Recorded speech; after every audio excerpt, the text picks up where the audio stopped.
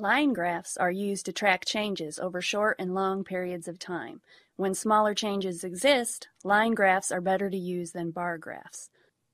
Line graphs can also be used to compare changes over the same period of time for more than one group. In the purest form, a line graph has some sort of time variable as the x-axis. Line graphs allow one to observe another variable, represented on the y-axis, at several time points. Line graphs connect these points to illustrate the possible functional relationship between time and the other variable. Pie charts are best to use when you are trying to compare parts of a whole. They do not show changes over time. Pie charts are used for categorical variables when comparing parts to the whole. Values will be unique to a single category and the categories will sum to 100%. Bar graphs are used to compare things between different groups or to track changes over time. However, when trying to measure change over time, bar graphs are best when the changes are larger.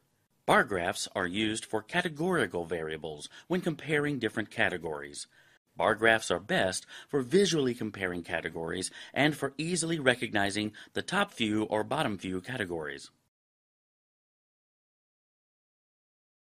Area graphs are very similar to line graphs. They can be used to track changes over time for one or more groups. Area graphs are good to use when you are tracking the changes in two or more related groups that make up one whole category. For example, public and private groups. Scatter plots are used to determine relationships between two different things. The x-axis is used to measure one event, or variable, and the y-axis is used to measure the other. If both variables increase at the same time, they have a positive relationship.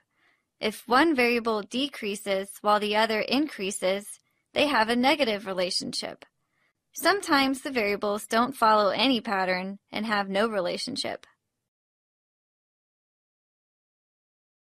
A single box plot is used to better understand the distribution of a quantitative variable.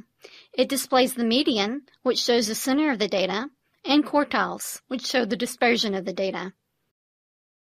Side-by-side box plots are used when it is important to understand the distributions and outliers of more than one group. A box plot demonstrates how different groups are distributed around the median.